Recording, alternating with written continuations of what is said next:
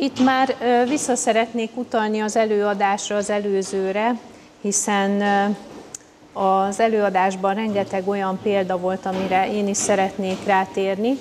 A, maga a biodiverzitás is körülvesz minket, igazából sokszor olyan helyen is, ahol nem gondoljuk.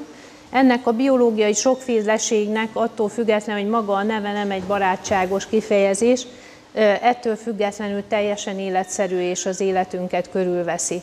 Én arról a részről szeretnék beszélni, ami egy általánosabb és a módszertanban a biológiai sokféleséghez kapcsolódó rész, és Sanyinak majd átadom a szót, és ő fog beszélni konkrétan egy kertpedagógiai programról. Ami az előadásomban még fontos, hogy nemzetközi kitekintésben is megnézzük, hogy miért fontos ezzel kertpedagógiai módszer szerint foglalkozni. Amikor tanítjuk ezeket az, ezeket az ismereteket, tulajdonképpen ki kell lépni a biológia tantárgyából, és igazából minden terület, ugyanúgy, ahogy mondtad Judit, biológia az egész világ, hiszen most már az IKEA árul mini üvegházat, amiben bármilyen növényt tehetünk, a ceruzát, ha megnézzük, akkor valamilyen fából készül, és hogyha piacra megyünk is a biodiverzitással foglalkozunk, de ha itt a terembe körbenézünk, legalább két-három élőlényt meg tudunk nevezni, ami kellett ahhoz, hogy mondjuk bútort készítsenek vagy ruhát készítsenek, mert ugye a textilek is ruha különböző élőlények alapanyagaiból készülnek. Igazából a, olyan keresztematikák lehetnek az élőlények kapcsán, hogy akár történelemből megkérdezhetjük, hogy a velencei város cölöpjei miből vannak, milyen fenyő kellett ehhez, ugye vörös fenyő. Igazából más-más témakörök szerint irodalom és egyéb tárgyakhoz is kapcsolhatunk élőlényeket. Néhány érdekességet azért hoztam én is példának, nagyon érdekes a balsafa, Éppen most két héttel ezelőtt kaptunk egy balsafát a füvészkertől, az üvegházban meg lehet nézni. Ugye ez egy májvaféle fa, és fantasztikusan könnyű, és ezért maketteket, különböző modelleket, repülőgép modelleket készítenek belőle. Nagyon érdekesek azok a technológiai kérdések, hogy hogyan készül. A hogyan készülben is nagyon sokszor lehet olyat találni, hogy egy-egy élőlénynek a feldolgozásával kapcsolódó technológiai ismeretet is hozzá tudjuk kapcsolni, hogyan készül a ceruza, hogyan készülnek különböző textíliák, és hát itt a kis vakondra is utalnék, hogy hogyan vart nadrágot.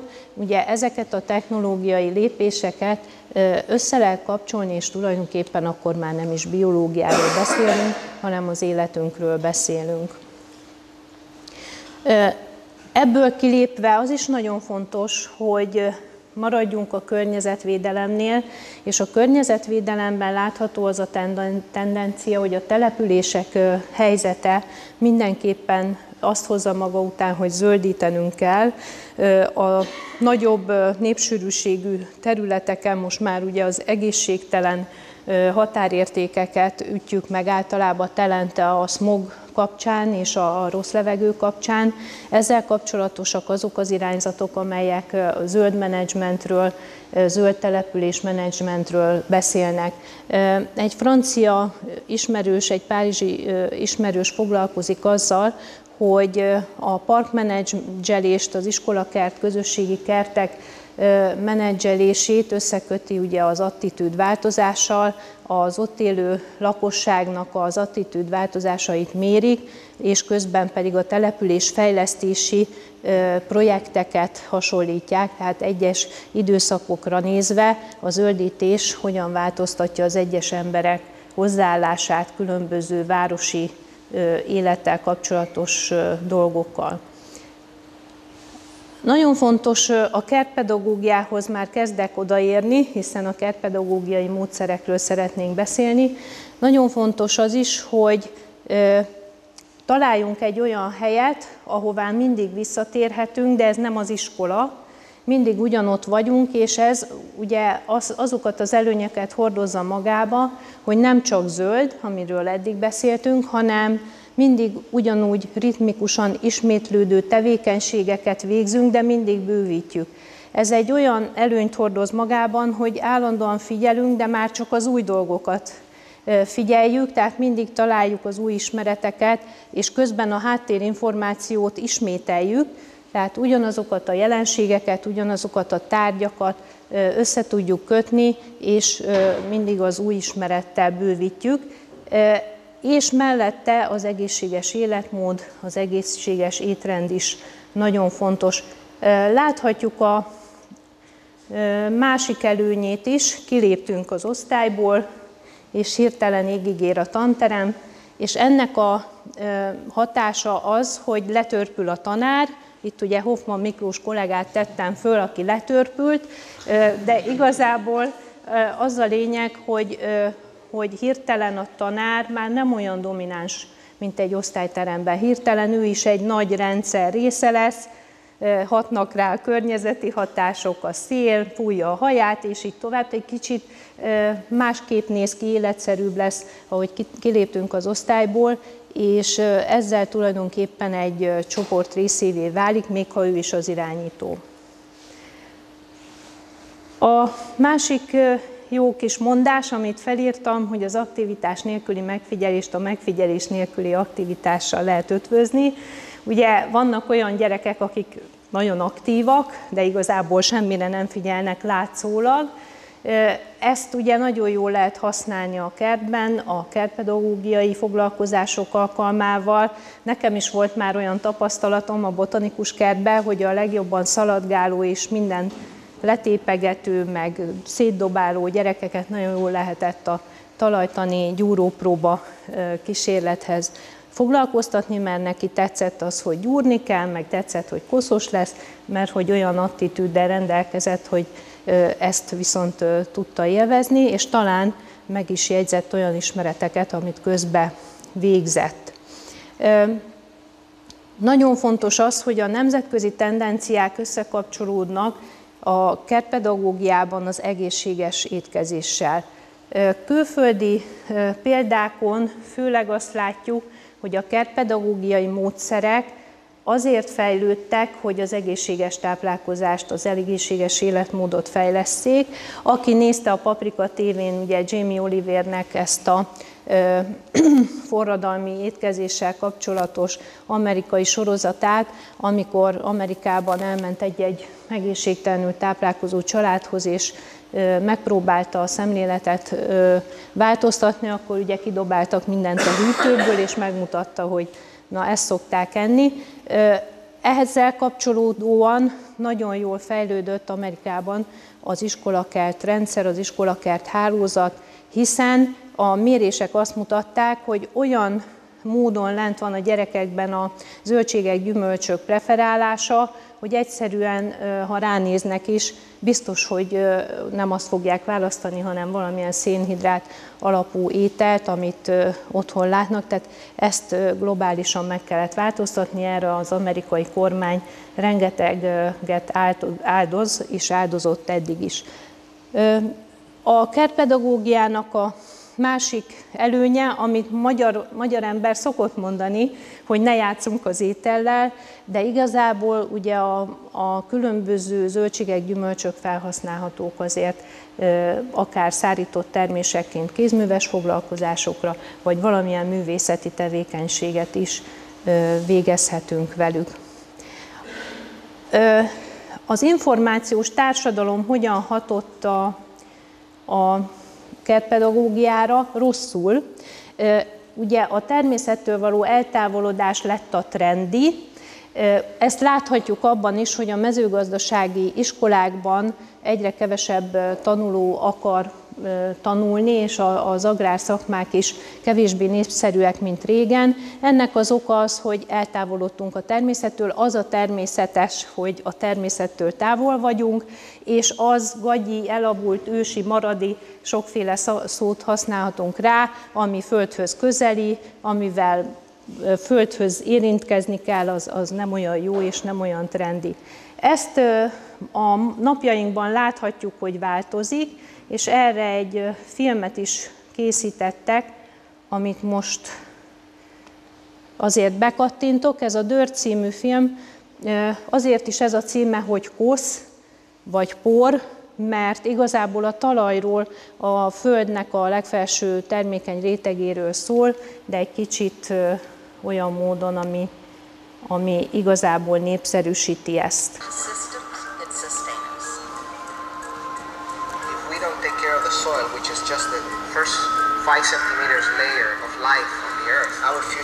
Ugye itt a, azt mutatja, hogy a legfelső 5 cm-ről van szó, és arról, hogy millió élőlény él a talajban, és sokkal több, mint a föld felszínén, néhány helyen. És hát bemutatja azt is, hogy az egyes népek hogyan használják ugye ezt a talajt, hogyan ö, tudják építkezésre vagy más dolgokra használni. És bemutatja azt, hogy ment ez tönkre az idők folyamán, a nagyüzemű mezőgazdasággal és a vegyszerek használatával, és hogy ez még rosszabb lesz, hiszen társadalmi feszültségekhez vezet a terméketlen talajoknak az elterjedése, a sivatagosodása, esőerdők írtása. És ugye eljutottunk az éghajlatváltozásig ebben a folyamatban, ahol aztán kaptunk egy terméketlen talajt.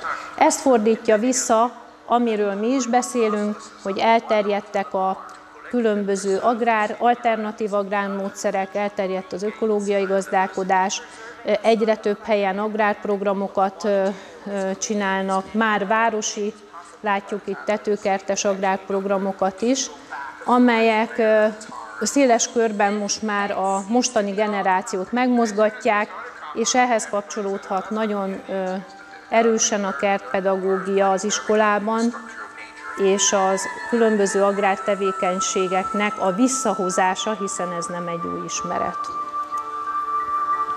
Ezt érdemes megnézni, ezt a filmet. Igazából ugye tényleg egy díjnyertes film, és nagyon-nagyon jó dokumentumfilm a termőtalajokról. Amit még hozzá kell tennünk, hogy annyira nagy összegeket fordítanak az USA-ban és Ausztráliában is a ásványos táplálkozásnak a népszerűsítésére és az ezzel kapcsolódó kertpedagógiára, hogy most már szinte minden iskolában létrehoztak iskolakerteket, amelyek a gyerekeknek ezt szolgálják. Tehát összefoglalva azt mondhatjuk, hogy ugye a kert az egészséges étrend mellett azt is hordozza magában, hogy a tanár nem domináns, kint van, osztályon kívüli tevékenységet végez, és ehető iskolakertet lehet létrehozni, amelyben az ásványos táplálkozás, egészséges táplálkozás és a biokertészeti ismeretek, hogy hogyan lehet még egészségesebb egy növény, egy zöldség, egy gyümölcs, ezeket magunkhoz vetjük. Itt csak a legelsőt fogom bekattintani, ennek az egyik legnagyobb hálózati példája még külföldön, és utána már áttérünk a hazaiakra, a Grenis Garden. A Grenis Garden hálózat, lehet, hogy nem fog bejönni, az egy olyan iskola hálózat, amelyben egy teljes komplex képzési rendszert hoztak létre.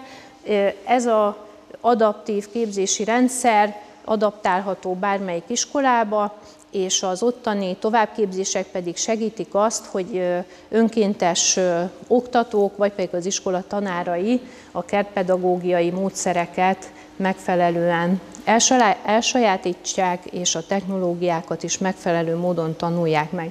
Ezt azért mondom el, mert tulajdonképpen a gyakorló iskolában most egy ilyen fajta program indult el, és ennek egy magyar adaptációs példáját láthatjuk. Nálunk az iskola kertekért alapítvány volt eddig az, amely összefogta az önkéntesen iskolakerteket létrehozó iskolákat vagy szervezeteket. Magyarországon nincs rá integrált kormányzati program, nincsen beintegrálva az oktatásba. Igazából a Waldorf iskola az, ahol egy holisztikus szemlélettel maga a kert része az iskolának. A Waldorf módszerben a kert az nem is szerepel külön kertpedagógiai programként, hanem nekik az egész programjuk integrálja azt, hogy a kertben is vannak foglalkozások. Az Iskola Kertekért Alapítvány mindazon iskolákat fogja össze, amelyek létrehoztak ilyen kerteket. A múlt hónapban voltunk az Iskola Kertekért Alapítvány konferenciáján, megdöbbentő volt, mert körülbelül 200 résztvevővel folyt a, bemutatkozás, és több olyan iskolai bemutatkozás volt, ahol már tíz éve iskolakerteket művelnek, tehát erről mi nem is tudunk, láthatatlan, annyira nem kapott média szereplést, és hát nagyon jó volt látni. És hát én áttérnék és átadnám a szót Sanyinak. Itt a főiskolán az EK Botanikus Kert Iskolakertekért alapítványi tag lett, ez azt is jelenti, hogy a gyakorló iskolával együttműködve szeretne egy komplex programot megvalósítani, és hát ezt nem projektkeretben, hanem állandóan, aztán majd meglátjuk, hogy ebből mi lesz. Nos, tehát nézzük ennek a támopok projektnek a gyakorló iskolai, pontosabban általános iskolai vonatkozását méghozzá az általános iskola felső tagozatán történő kertpedagógiai lehetőségeket nézzük át. Néhány előzményt mindenféleképpen kell ehhez kapcsolva mondanom. Az általános iskolákban tantárgyi előzmények vannak. Ilyen tantárgy volt a 70-es években, a 80-as évek elején a mezőgazdasági ismeretek tárgy. Tudjuk azt, hogy viszont ez nem ugyanazt jelenti, inkább ott a termelés volt a lényeges. Itt viszont a természethez való kapcsolat, a viszony, tehát megváltozik a, a viszony, a tanulók viszonya a, magához az egész kerthez. 1978-ban volt a, ennek folytatása a technika tanterv B változata. Ez tulajdonképpen tovább vitte a mezőgazdasági ismeretek tanítását, de ugyanakkor ugye műszaki ismereteket is tanultak. És, hát nap, és a NAT és a keret tantervek kapcsán a téma gyakorlati vonatkozása háttérbe szorul, és tulajdonképpen felszámolják ezeket a gyakorló kerteket, elsorvasztják, és egy új trend alakul ki, és ezt szolgálja ez a támopos pályázat is valójában, méghozzá azt, hogy újra kellene éleszteni ezeket a kerteket, és iskola kerteket kellene létrehozni, fenntartani. Láttunk erre példákat is, Ausztriában voltunk éppen dékánasszonynal, és ott láttuk, hogy valóban egyre több iskolakert kezd létesülni. És ugye átmegy egészségkert, konyhakert, háztáji, házi kert fogalmába a dolog, tehát tulajdonképpen a régebbi dolgok mind a nagyüzemi gazdálkodásról szóltak főleg, itt viszont már kifejezetten, tehát kis háztáji viszonyban kell, hogy gondolkozzunk. A megvalósítás sajátosságai, tehát ez egy nagyon sajátos pályázat, több iskolát érintő, több szintéren megvalósuló tíz iskola, amely a házikert, konyhakert témában dolgozott össze, és öt iskola, amely egészségkert modulokat dolgozott ki. Több nevelő irányítása, több irány együttműködésével alakult ki, és tanterve és tematikus alapja van ennek. Négy évfolyamot ölel át, 5-től 8. évfolyamig, 72 óra egy tanévben az óraszáma, de az nem azt jelenti, hogy egész évben ö, kertészkedni fognak, hanem mi kidolgoztuk, mivel modul jellegű, tehát ez egy kínálat, egy étlap, amit minden iskola használhat. Tehát ez egy bázis tulajdonképpen, ami alapjait adhatja annak, hogy a jövőben ez bővüljön, ez a kert pedagógia, és tehát elterjedjen. És módszertani javaslatokkal is ellátott tulajdonképpen. Szemléltető eszközöket, feladatlapokat is dolgoztunk ki hozzá, mindenki a helyi igényének megfelelően átalakíthatja, adaptálhatja, és hát nagyon fontos dolog, hogy aktív tanulói tevékenységeken alapuló ismeretszerzést tesz lehetővé.